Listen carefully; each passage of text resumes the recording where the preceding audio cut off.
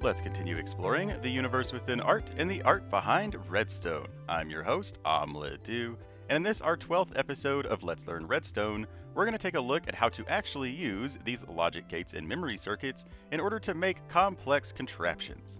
No matter how big or complicated a machine might seem, they are all made up of the same teeny tiny components. So if we just train ourselves to use these components and think of them independently, it will be much much easier for us to accomplish the complex things that we are trying to do. So for this episode, I'm going to be using a door as an example that was requested by a viewer a while back. I'm going to build it in several different ways as we go along, using different gates so that we can examine how they affect the behavior of the machine. And near the end of the video, we'll even touch on condensing the redstone. But for this example, the request was a pay door, that is a door that activates when you insert the correct payment. So all we need to start off with is a door and an item filter. The item filter to determine what item needs to be paid in order to open the door. In this case, we are using diamonds as our filter. So we have a comparator looking at the filter hopper, strongly powering that block so that it powers the redstone underneath. When it reaches a signal strength of 2, it will turn off the torch, which will drain some items from the filter, and then we have some glass so that the redstone doesn't get pinched. And of course, we could always cover up this top hopper so it could still accept items, but the player could not interact with it. But when pulling a signal off of an item sorter, never pull it off of the dust. Always pull that signal off of the torch. It's just more stable. I've seen it skip activations when you try to pull it off of the dust rather than the torch. But the torch will always flicker one time for every single item that is going through the filter. But since this torch is always on, we're going to just start off with a NOT gate. You know, just adding a second torch so that when the first torch is on, the second one is not on. So as an item passes through, the first torch will flicker off, which will cause the second torch to flicker on. And so now we could just tie this directly to our door if we really wanted to. You know, except that without an extender, the door is not going to be open long enough for you to actually get through. So what we can do is add an extender. You know, we just need to extend the pulse that is generated by the NOT gate or by that second torch. So we're just going to add two lines of comparators. Now we're going to test it to see. But one issue when it comes to using a long extender after a pulse is sometimes the pulse is not actually long enough to power the entire extender, so it ends up becoming a clock. So we're going to place a repeater next to this torch in hopes that that extends the signal just a little bit. But if worse comes to worse, we can just split the extender into two extenders. We know that having two comparators will work even from something like an observer that has a one tick pulse, as long as the observer is going into a repeater. And so sure enough, here we have both extenders are now working because we split them into two. The first one is extending the pulse into a static that is long enough to actually power the second extender, which will just keep the door open even longer. But maybe we don't want to have a time limit for you to actually make it through the door, so we can replace the extender with a T-flop. Remember that the T in a T-flop stands for toggle, so now we are toggling the door between open and closed. So now if we insert multiple payments, the door will continue to toggle between open and closed. And so maybe we want to add other activations to this, other things that can toggle the door between open and closed. Like maybe you need to pay to open the door, but then once you're through the door, it closes because you, you land on a pressure plate. Or, you know, it opens if you are inside of the room. You know, so you pay to get in, but you don't have to pay to get out. You know, so we can just add a pressure plate or a button and run that to the copper bulb so that now we have multiple things that can toggle the door between on and off. But maybe you don't want the door to be toggleable, because if someone is on the inside, they could open the door for someone on the outside so they don't have to pay.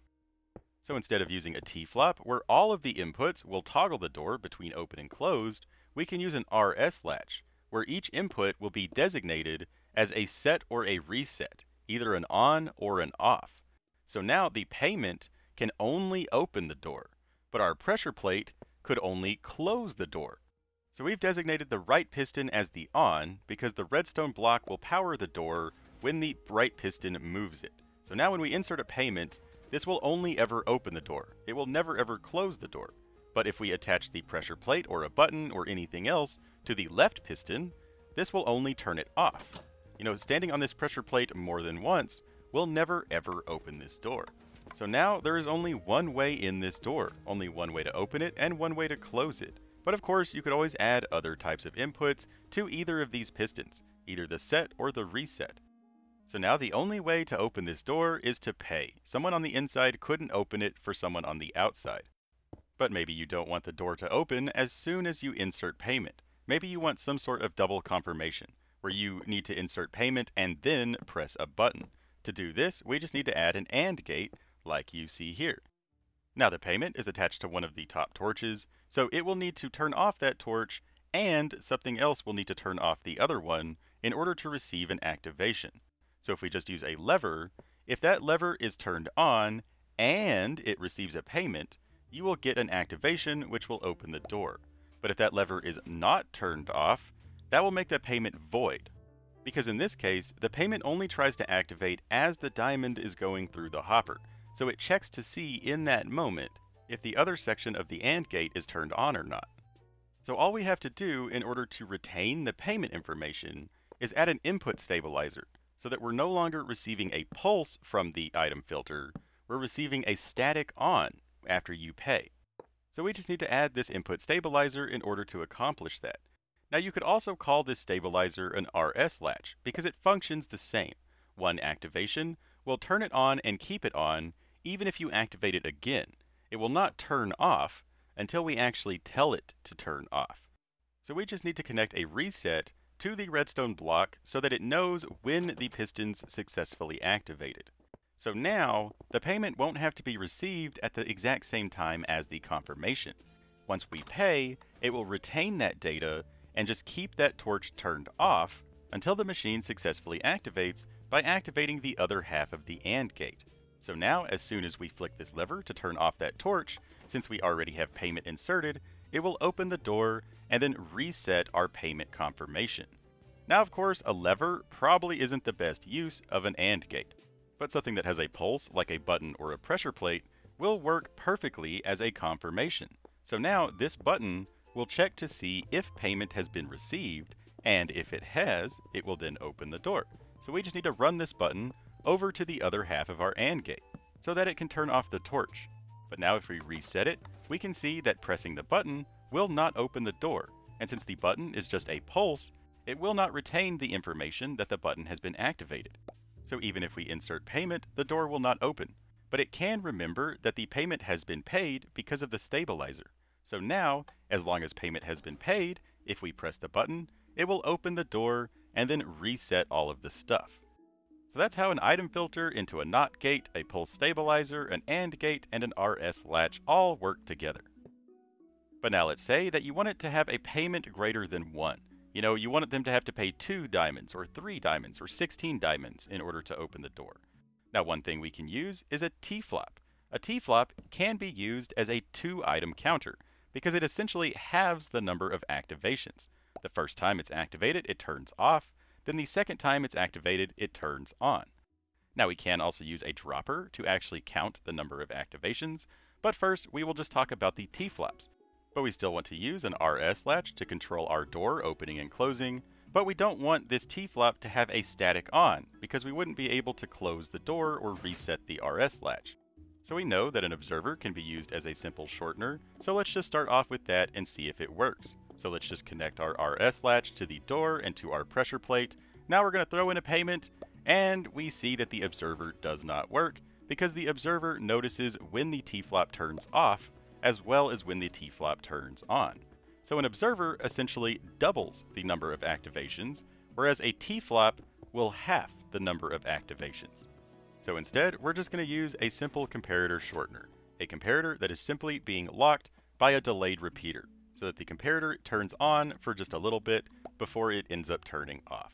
So now, whenever we insert two payments, we will receive an activation and that activation will be a pulse, so we will be able to close the door again by resetting the RS latch. So with using a T-flop as our counter, it will simply ignore the first payment, but give us an activation on the second. And you can always string T-flops together. Each one that you add will double the number of required activations to receive an output. So a single T-flop will require two activations, whereas two T-flops will require four, and three will require eight. So with this, since we have three copper bulbs, we will need to insert a payment of 8 in order to receive an activation. because the first bulb only turns on every other activation, and that will only toggle the second bulb every two activations, which will then toggle the third bulb every four activations. So the third one will only turn on after we've inserted eight items, activating the whole thing eight times. Like so. So this is an easy way to make payments that are in increments of doubles. So like 2, 4, 8, and then if we add another one, that would be 16, and another one would be 32, and a sixth one would be 64. And so even though a T-flop is not technically a counter or a counting system, it can be used as such. And so that's a good thing to keep in mind, especially in regards to payments and reward systems, is that T-flops half the number of activations, whereas observers will double the number of activations. But of course, if we want a custom payment, we can just use a dropper. A dropper can count, you know, any number of activations one at a time by dropping a single item per activation. So if we just put three items in this dropper, then it will be empty after it's been activated three times.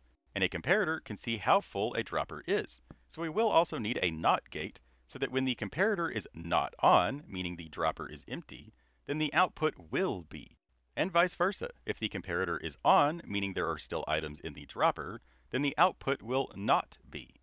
So if we toss in three diamonds, the dropper will activate three times, which will then give us our output activation. But of course, we will need some way to reset the dropper so that the items automatically go back into the dropper.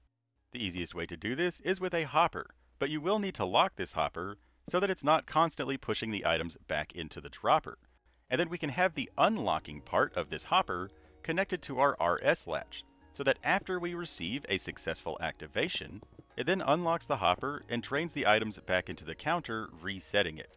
So technically, there is a NOT gate attached to that hopper. So if the output is not on, then the hopper will be on, which means the hopper will be locked. But if the output is on, then the hopper will not be on, which means the hopper is unlocked. And now depending on how many items you're counting, you may need to increase the activation time. And once you've determined what gates and circuits you need in order to make the machine behave the way that you want it to, now all that's left is to compact the redstone. So really all of the dust that connects these things together is irrelevant. So we just need to find a better way to organize the logic gates and memory circuits that we already have that are actually influencing the behavior. So like this item filter and counter can't really be compacted at all because the dropper counter is already touching the thing that's activating it and the thing it's activating, those two redstone torches. But this shortener and this RS latch can definitely be changed and rearranged. We can completely replace the shortener with a more compact version.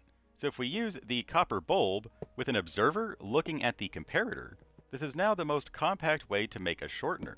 Every time the T-flop receives a signal, it will toggle the comparator between on and off, which the observer will notice both times. So now we can just squish this RS latch directly attached to this shortener. But we can't put it there because it's being powered by that comparator, so we just need to move it over one block in some direction. So we can actually place it next to this comparator, and then place a solid block under the observer. So now when the observer activates, it will power that block, which will then power this piston. So we just build the rest of the RS latch right here. Now we just need to build the door. So we know the on will be right here because the piston that's being triggered by the observer is going to be our on or our set piston. And so now we just need to build the door somewhere where this torch can be toggled on and off. And we can place it right there next to that comparator because the torch won't be interacting with anything. That means that we can have the door be right here. So we still have an item filter, an item counter, going into a shortener, going into an RS latch that controls this door. But we squished it dramatically just by trying to figure out a different way to organize all of these gates together. But none of the gates and circuits actually changed except for the shortener. You know, they all remained exactly the same because they're already as compacted as they can be.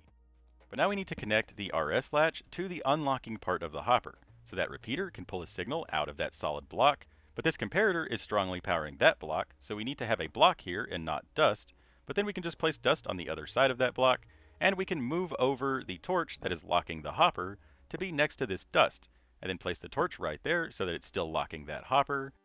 And that's it. And really, the repeater and the dust that we added could possibly be avoided if we moved that hopper onto the other side to be directly next to the RS latch. Basically, when it comes to compacting the redstone, you're just trying to squish the logic gates and the memory circuits to be as close together as they can possibly be, so that you don't have to run dust from your RS latch to something else. You know, or in this case, you know, from our pressure plate all the way over to our resetting piston. You know, if we could reorganize this, where the reset piston was directly under the pressure plate, well then we wouldn't need all of that dust. And really, being able to efficiently compact redstone is something that you will just get better at over time. But when you're learning, I would not worry about compacting it at all. You know, simply work with what you have, make it as big as you need to, but most importantly, try to break things down into individual gates and circuits, understanding their behavior and their influence on the machine as a whole. And the last thing I want to go over in this video is this example right here. This is the timer section from the MIS sorter that I made recently. So the first thing is what is the input and output? The input is when we have items in this dropper, we want the output to turn on. And the output is a clock, because the clock is going to be controlling all of the rest of the stuff. So in between the input and the output, we have an RS latch, so that when the dropper has a single item, it will then turn on the clock and just keep that clock on until it is reset. Then, when the dropper input is empty, the comparator will turn off, which will turn on the first NOT gate, this torch right here. Then we have a shortener to turn that torch into a pulse. When that pulse turns off that torch, it will activate this etho clock to have it start counting down. When it reaches zero, that block of redstone will be shortened by a shortener, which will then trigger the reset piston on the RS latch, which will then turn off the clock. And now this is fairly compact as it is. I didn't use very much extra dust to tie these components together. But especially when you're first learning, it's nice to just add extra dust in between each component, just in case you think of something else or try to play around with something different. And then once you achieve the behavior you're trying to get, just try to cut out all of that extra dust. Or like in this example, there wasn't much I could cut out, but I could reorganize it into a different shape so that it fits the machine better but all of the gates and the circuits are still built exactly the same. They're just stacked together a little bit differently. But we still have the RS latch that is controlling a timer, then the input that is being inverted into a NOT gate, and then shortened to turn on an etho clock, and then the etho clock is then being shortened to turn off the RS latch, which then turns off the clock. You know, it's all still exactly the same. Like the RS latch is just a Lego, the etho clock is just a Lego, but you can't really change these Legos necessarily, but you can put them together in different patterns and in different ways to obtain different shapes and different builds. So the first step in your redstone journey should be changing the way you think about these contraptions. You are not building one giant machine. You are building it out of Legos. Just learn what each Lego does and how to use each Lego, and you'll be able to build anything that you can possibly imagine. But that's all we got for this video. I really hope you enjoyed it. If you did, don't forget to like, favorite, share, and subscribe, and be sure to leave a comment but I am totally out of time, so insert the outro here, and bye bye!